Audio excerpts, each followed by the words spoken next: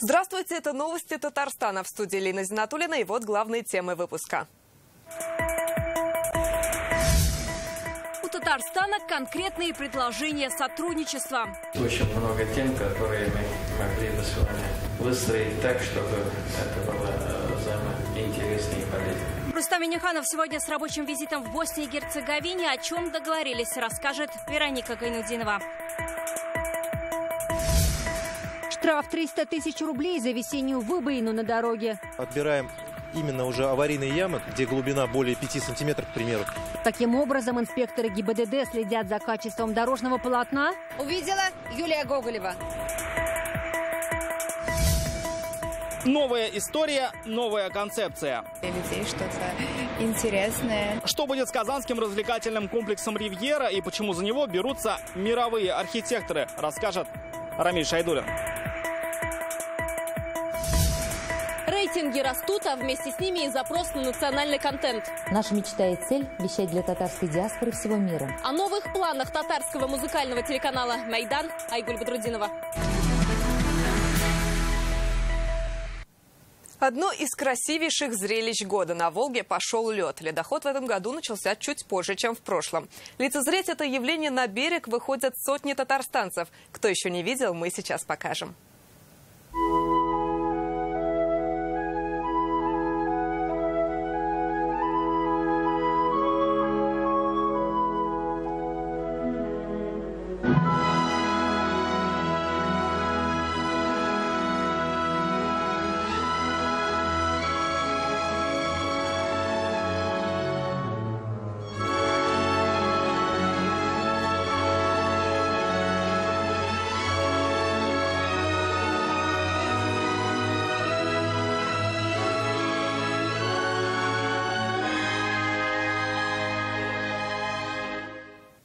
И к другим темам этого дня Татарстан планирует расширить торгово-экономическое сотрудничество с Боснией и Герцеговиной. Здесь сегодня с рабочим визитом находится президент Рустам Миниханов. У сторон высокий потенциал сотрудничества в разных сферах. Чем схожи Татарстан и Балканская страна? И о чем договорились на встречах, расскажет Вероника Ганудинова. Здрасте. Городевич, посол. Очень приятно, очень приятно. Добро пожаловать. Сараево, столицу Боснии и Герцеговины. Президент прилетел поздно вечером. В аэропорту Рустама Миниханова встретили чрезвычайный полномочный посол России Игорь Колобухов, генеральный секретарь президиума Зоран Джерич, советник председательствующего президиума Радован Ковачевич. Первая встреча под зонтом. В Сараево в эти дни дожди. Наступила весна, сейчас. Плохой погоды не бывает. В Москве очень тепло, в Казани тоже. Погода не помешала насыщенной программе президента. Татарстан планирует расширить торгово-экономическое сотрудничество. На встрече министр внешней торговли и экономических отношений Сташа Кашарац и Рустам Миниханов обсудили поставку новых вертолетов. Уже сейчас успешно реализуется контракт на три новых «Ансата» с Республикой Сербской. Это один из регионов Боснии и Герцеговины. Сфер э, наших контактов огромное количество. Это и культурный обмен, это и спортивный обмен. Но в любом случае основа всех контактов – это экономика. Рустам Миниханов предложил министру провести одно из заседаний межправительственной комиссии в Татарстане. Это позволит ознакомиться с возможностями Казанского вертолетного завода. Министр заверил, приглашение принято. Уже на круглом столе президент отметил высокий потенциал сотрудничества в нефтехимической и машиностроительной отраслях, судо- и автомобилестроении, в сфере высоких технологий. Товарооборот между Татарстаном и Боснией и Герцеговиной в прошлом году составил 9 миллионов долларов. Мы ориентированы к сотрудничеству и в других областях. Казань ассоциируется у меня с баскетбольным клубом, так как я очень люблю баскетбол. Я верю, что наша встреча сегодня откроет новые возможности. Салям алейкум. Алейкум ассалам. Добро дошли. В Боснии и Герцеговине проживает почти 4 миллиона человек. Половина исповедует ислам. Рабочий визит пришелся на месяц Рамазан. Вместе с муфтием Камилем Самигулиным Рустам Миниханов посетил мечеть Гази Хусревбега. Это архитектурный памятник османского периода. В следующем году будет 1100 лет, как э, наши предки добровольно приняли ислам. Мы вас пригласим на наш большой праздник. Рустам Миниханов также рассказал, что президентом России Владимиром Путиным уделяется большое внимание вопросам выстраивания взаимоотношений с исламским миром. Для этого создана группа стратегического видения России «Исламский мир». Президент Татарстана предложил вступить туда и представителям Боснии и Герцеговины. Вероника Гайнудинова, Марат Хусаинов, ТНВ, Босния и Герцеговина. Каждое третье ДТП в республике происходит на дороге с ямами или из-за отсутствия дорожных знаков. Такова статистика ГИБДД. Как здесь говорят, далеко не все подрядчики оперативно приводят проезжую часть в соответствие. Контроль за выполнением ведут сотрудники ГИБДД и прокуратура. Какие участки сегодня вызывают больше всего нареканий? Юлия Гоголева. Сколько машин сюда, ужас. С этой ямой, которая осталась после ремонта, предприниматель Джафар Ахмедов борется около года. Куда только не писал, чтобы канаву зарыли. В итоге нанял бригаду и сделал за свой счет. Но яму снова раскопали. Несколько недель назад здесь провалилась легковушка. Тут снег стоял, она не чувствовала и провалился туда, мы еле вытащили. Огородили яму только после приезда нашей съемочной группы. Во время записи интервью сотрудник ГИБДД позвонил подрядчику и потребовал принять меры. 50 метров влево и новая яма. Это улица Фучика. Автоинспекторы замеряют все параметры. Нарушения фиксируют. На устранение дают от одного дня до 20 суток в зависимости от категории дороги. В отношении балансодержателя дороги выдается предписание. В случае его неисполнения мы принимаем меры административного воздействия. Такие рейды по выявлению ям и трещин на дорогах сотрудники ГИБДД проводят каждый день. С начала года выявили уже больше тысячи нарушений. И большая их часть касается городских и сельских дорог. Особенно во дворах, на квартале, по работе езжу. Там вообще как лунная поверхность. Честное слово, куда деньги уходят наши. Ехал по улице Подложной, держался правее и попал в яму. Заднее колесо правой разбил. Где-то дорожное покрытие, как стиральная доска, где-то нет разметки и знаков. На улице Осиновская в Кировском районе, где сотрудники ГИБДД не так давно составляли протокол, отсутствовал тротуар. В ЖК «Триумф» на улице Зурурам были сложности с проездом скорой и пожарной техники. Не обеспечение надлежащего содержания автомобильных дорог, оно влечет за собой привлечение к административной ответственности. Штрафы на сегодняшний день, они достаточно большие, крупные. Статья 1234 за нарушение правил содержания уличной сети на должностных лиц штраф от 20 до 30 тысяч, а на юридических лиц до 30, 300 тысяч доходит. Наказывают рублем и подрядные организации, и муниципалитеты, за которыми закреплены участки. В марте месяце сотрудникам ГИБДД было вынесено 21 предписание. На сегодня 19 предписаний устранено. Ямочный ремонт в первую очередь проводится на э, дорогах, где общественный транспорт и наибольшее интенсивность дорожного движения. В 2019 году э, предписаний по знакам, э, по светофорным объектам э, было на исполнительный комитет выдано 350 штук. А, в 2020 году уже 400 предписаний. А, на сегодняшний день 65 предписаний с начала года на сумму 10 миллионов рублей. С наступлением тепла нарушения устраняют и другие организации, которым ГИБДД направила предписание. Главтатдортранс, Волгодорстрой, Татнефтедор, ДЭП-103. Получили где-то общие пять предписаний. Зимнее время, зимнее скольжение, очистка проезжей части, очистка дорожных знаков – и на весенний период у нас основной ямочный ремонт и занижение обочин. Работы ведутся постоянно. Зачастую залатать яму или установить дорожный знак получается только через суд. К этому прибегают уже тогда, когда подрядчик не реагирует на предписание. В марте текущего года Бавлинская городская, городская прокуратура предъявила иск федеральному казенному учреждению Волговятский Управавтодор в связи с тем, что в одном из населенных пунктов на участке э, автомобильной дороги с оживленным движением э, автомобильным отсутствовал тротуар. Общий недоремонт больше 50%. Это в целом по республике. Конечно же, можно отдельно выделить Закамскую зону, это э, вот в районе Альметьевской стороны, туда. Там большая протяженность дорог, э, и она требует в том числе этого ремонта. Но э, почти по всем районам этот показатель все-таки он более-менее ну, приближенный и одинаковый. Ямочный ремонт в Татарстане завершится в мае. На сегодня контракты практически заключены. В целом на ремонт дорог республика потратит 34 миллиарда рублей. Это с учетом денег по нацпроекту «Безопасные и качественные дороги». В общей сложности в порядок приведут более 200 километров. Юлия Гоголева, Александр Лобанов, Марат Зайдулин, ТНВ, Казань.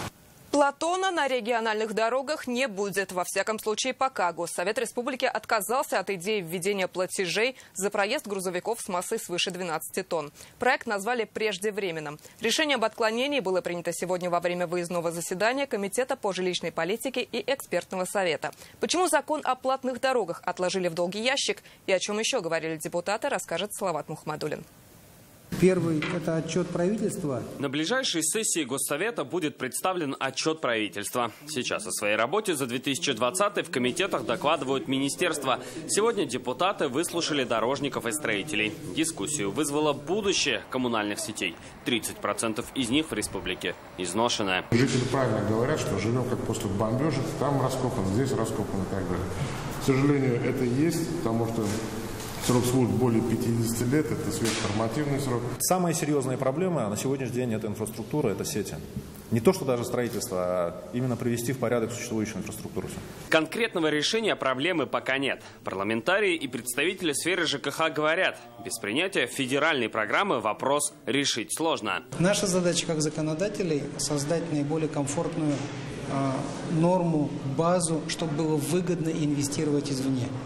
Ну и, безусловно, поиск идет любых типов решений. Вот вы даже слышали на примере платных дорог. Речь о региональных дорогах. Половина из них сегодня не соответствует нормативам. И ситуация становится только хуже из-за больших грузов, говорят дорожники. Еще в ноябре в Госсовете депутаты и представители экспертного совета заговорили о плате за проезд по региональным трассам. По расчетам специалистов, для возмещения ущерба стоимость одного километра проезда по региональным дорогам должна составлять от 3 до 8,5 половиной рублей в зависимости от участка. Это касается грузовиков с максимальной массой свыше 12 тонн. Это, по сути, региональный Платон. Сейчас большегрузы платят только за проезд по федеральным трассам. По новому законопроекту им пришлось бы платить и за региональные дороги. Пока а, целесообразности вот здесь вот рассмотрения этого вопроса мы не видим. И э, учитывая еще, что сегодня, как я уже отмечал, идет формирование э, региональной сети под критерии федеральных автомобильных дорог, но учитывая э, экономические аспекты, все-таки сегодня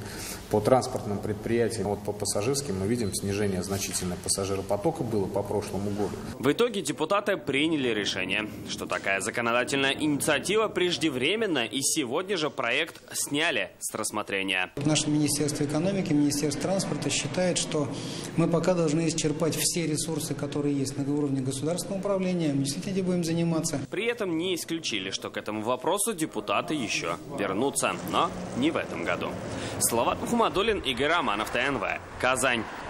Пострадавшие при взрыве дома в Зеленодольске получат единовременные выплаты. Постановление сегодня подписал премьер Алексей Песошин. Семьи погибших получат по миллиону рублей, получившие тяжкий вред здоровью 300 тысяч. Также поддержка будет оказана тем, кто потерял имущество. Все пострадавшие получат по 10 тысяч рублей. С заявлением в соцзащиту можно обратиться в течение полугода со дня ЧП. На месте развлекательного комплекса «Ривьера» появится новый развлекательный комплекс. Сегодня в Казани запустили международный конкурс на его концепцию. До конца июня желающие могут прислать проекты по обновлению центра. Главное, чтобы он органично вписывался в ландшафт и отражал культурное многообразие Татарстана чтобы на память оставить. Раиль Галеев с внуком делают снимки на память. Через полгода или год это здание снесут. По новостям он узнал, что здесь будут строить новый объект. Новые хозяева, новые планы, что тут скажешь. А планы мирового масштаба. Сегодня в Казани объявили международный конкурс на лучшую архитектурную концепцию гостиничного комплекса «Ривьера» и прилегающей к нему территории. Об этом сообщили новые владельцы из Санкт-Петербурга. Мы понимаем ответственность и важность данного места. А, поэтому было принято решение, и мы вышли с предложением а, провести международный архитектурный конкурс. К участию приглашаются российские и зарубежные архитекторы, бюро и консорциумы, а также градостроители. Уже до конца июня они должны представить то, каким видят новый комплекс. Тогда на месте этого здания они могут изобразить и постройку в стиле хай-тек, и центр в стиле барокко, да и даже средневековый замок, почему нет? Главное, чтобы в итоге новый комплекс вписывался в общую концепцию. Участок проекта почти 9 гектаров. Он граничит с Казанкой и будущим парком, который сейчас проектирует французский архитектор Мишель Пина. Он же будет в конкурсном жюри, поэтому требования, сообщили сегодня, будут строгими как по этажности, так и внешнему облику. Ну, не знаю, опять же, развлекательный какой-то комплекс, чтобы для людей что-то... Нормально, если будет лучше. По плану это будет многофункциональный комплекс с концертным залом, двумя отелями, офисами и магазинами. Никаких жилых домов, заверили в исполкоме, на этом месте не будет. В плане города не предусмотрена жилая застройка на этой территории. Прием заявок начнется 1 июня и завершится 24-го. Далее работы оценит жюри и уже 30 июня объявят имя победителя. Рамиль Шайдурин, Владимир Ларионов, ТНВ, Казань. На Куйбышевском водохранилище продолжается весенний приток. За сутки уровень воды поднялся на 74 сантиметра, сообщает управление по гидрометеорологии. На большей части Нижнекамского водохранилища вода уже пошла на убыль, а на ниже на 14 сантиметров. Пик половодья ожидают на реках Шошма, Казанка, Меша, Тойма и Вятка. На остальных малых реках республики пик пройден, вода пошла на убыль. Сегодня утром талыми водами затопила деревню Тимофеевка Высокогорского района. Резко поднялась вода в реке Сула. Под воду ушли низководный мост и два двора. Сообщение с населенным пунктом не прервано. Функционирует пешеходный мост. На месте работает МЧС, установлено дежурство, доставлена цистерна с питьевой водой. Два поселка республики остались под водой. Это 86 домов, где проживали 250 человек. Спасатели, аварийные службы, полиция, бригада скорой помощи, представители исполкома города были подняты по тревоге и приступили к ликвидации последствий. По такой легенде сегодня начался второй этап всероссийских учений в Казани. В них участвуют 210 человек и 46 единиц техники.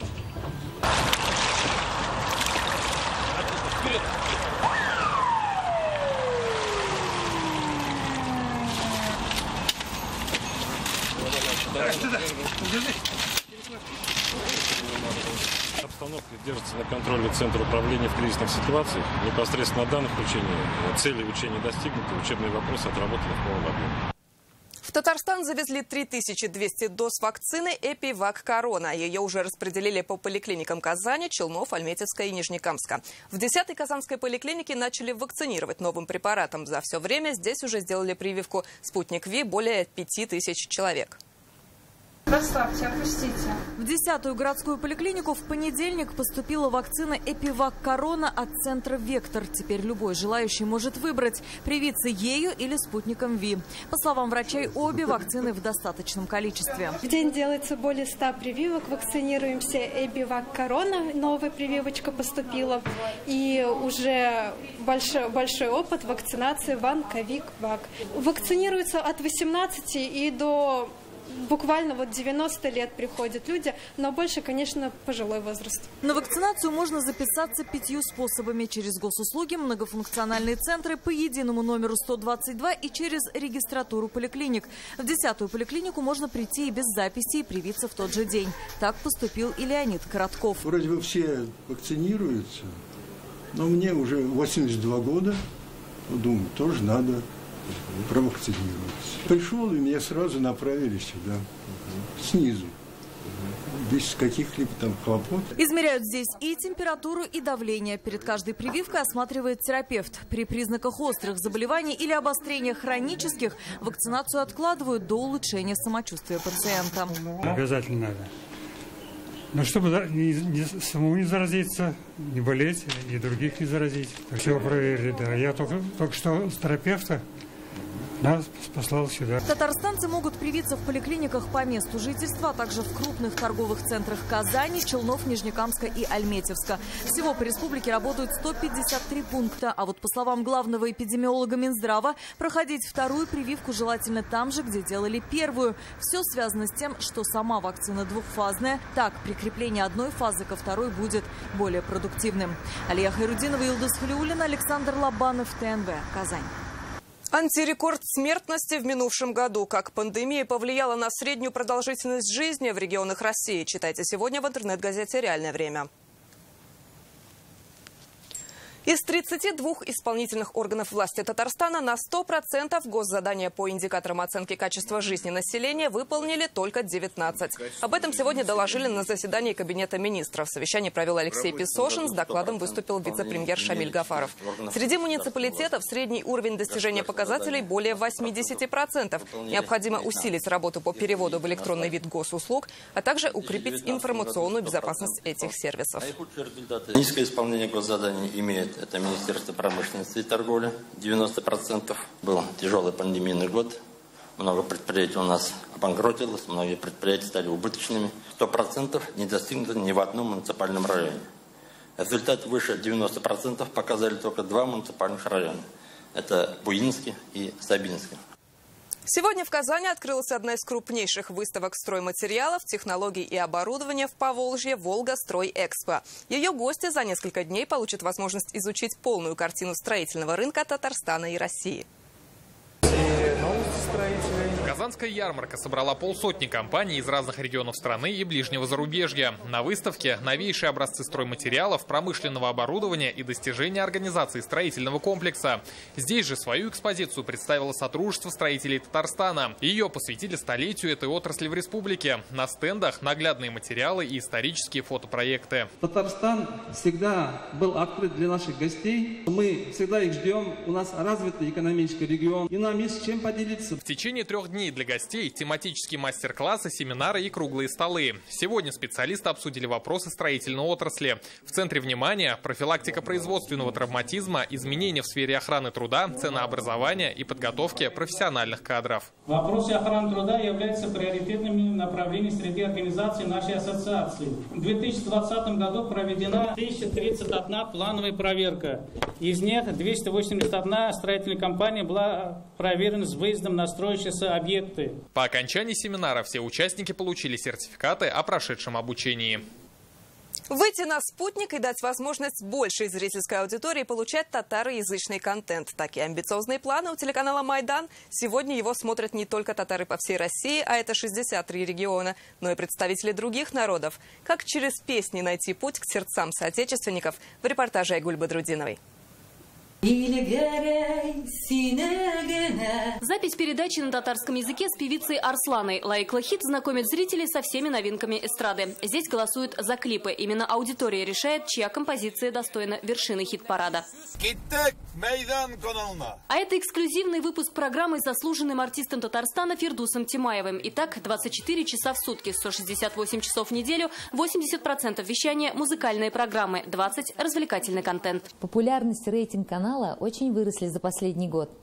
Мы предлагаем зрителю самую широкую палитру музыкального репертуара разных исполнителей, от новичков до топовых звезд, от ретро до хитов 2021 года.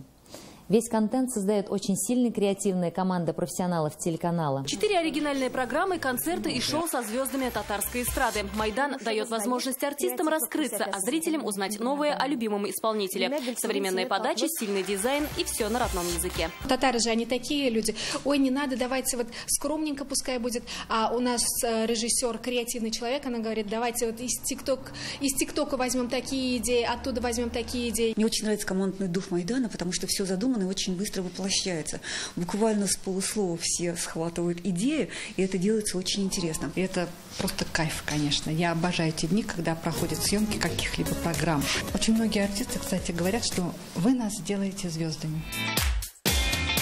63 региона России, 362 города. Чаще всего Майдан смотрят в Санкт-Петербурге, Самарской, Свердловской областях, Башкортостане, в Нижнем Новгороде и Пермском крае. Вместе с социальными сетями охват телеканала «Майдан» составляет более 10 миллионов человек. И это не только татары. Планы, конечно, расширяться. Мы не стоим на месте, мы э, идем вперед, мы развиваем канал с технической точки зрения, мы увеличиваем материально-техническую базу. На территории Татарстана Майдан представлен во всех кабельных сетях. Планы – выйти на спутник. Наша мечта и цель – вещать для татарской диаспоры всего мира, попасть на вещание в триколор и радовать людей лучшей музыкой татарского народа. Это ответы на запросы татарской аудитории. Сейчас такой контент как никогда востребован. Айгуль Бедрудинова, Алмаз Зиадинов, ТНВ, Казань. А у нас на этом пока все. Всего доброго и до встречи в следующих выпусках новостей.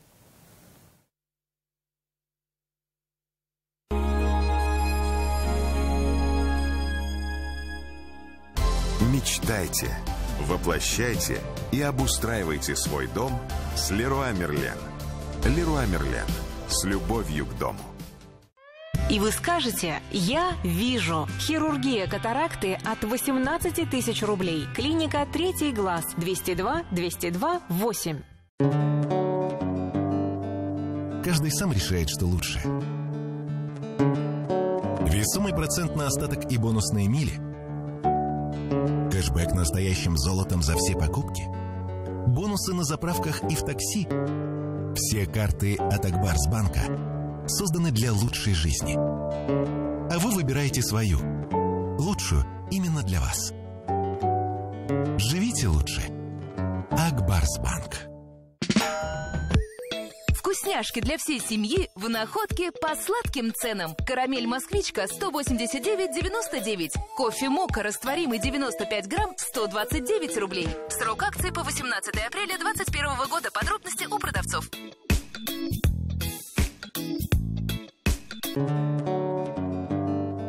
Все карты от Акбарсбанка созданы для лучшей жизни. Вы выбираете ту, что будет лучшей именно для вас. Живите лучше. Акбарсбанк. Обработай территорию препаратом клеща нет. Полное уничтожение насекомых за три дня. Спрашивайте в магазинах города и интернет-магазине joymagazine.ru. Победа сберегает. У нас детишек много. Конечно, экономим. А еще и в качестве уверены. В магазинах Победа. Сок яблочный сады Придонья. 1 литр 39,90. Жить лучше значит достигать своих целей. Акбарсбанк рефинансирует невыгодную ипотеку под 7,77% годовых. Акбарсбанк. Живите лучше. Все, что хочу, это Nissan за 980 тысяч. Все, что хочу, резину в подарок. Yeah. Подробности 4 пятерки 3 единицы. Салям, Дусларым, Сенсис. Компания «Волга-Волга» проводит ярмарку путевок на свои теплоходы. 17 апреля с 9 до 14. Московская, 43. Можно записаться по телефону. Или на сайте волга-волга.ру. Хуш, Дусларым, Широширбас. Приходите. В РРТ Автомаркет есть автомобиль для каждого. Выгода до 150 тысяч рублей. Подробнее 3 двойки 0101 и на Чуйкова 54Б. И вы скажете «Я вижу». Хирургия катаракты от 18 тысяч рублей. Клиника «Третий глаз». 202 202 8.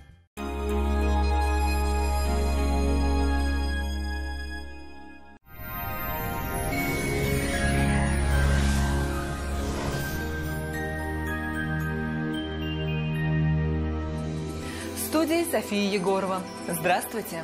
В Татарстане установилась очень теплая погода с температурой на 5-7 градусов выше нормы. Не откладывайте заказ вашей новой кухни. Закажите ее в рассрочку в Данил Мастер. Только до конца апреля доставка, подъем и установка бесплатно. 3D-проект кухни в день обращения. Звоните 2 167 166. По данным сервиса Яндекс Погода, в Угульме, Бавлаха и Азнакаева. Осадки маловероятны. Будет очень тепло. Плюс 21-22 градуса. В набережных Челнах, Нижнекамске и Елабуге. По-летнему солнечно и даже жарко для этих дней апреля. Плюс 23. В Агрызе, Менделеевске, Актаныше ясно и без осадков. Температурный фон удерживается на высоких значениях.